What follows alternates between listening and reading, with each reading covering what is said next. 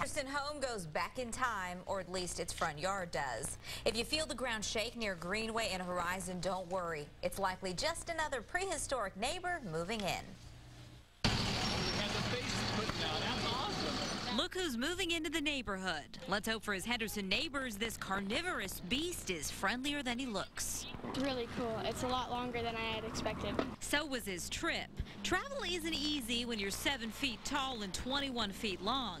Good thing he's getting a warm reception. The first time we ordered him, they forgot to put him in the container. I don't know how that happens.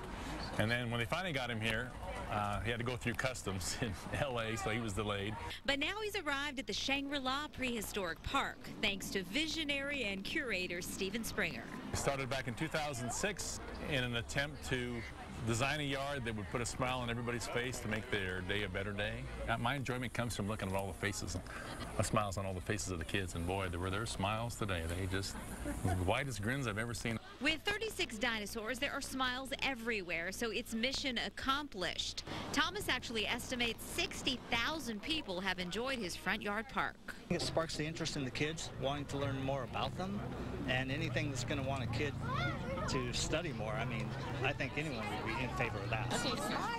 I see a dinosaur, and when I want to buy it, I go, it's time to redesign the yard again. And so the park gets redesigned one more time.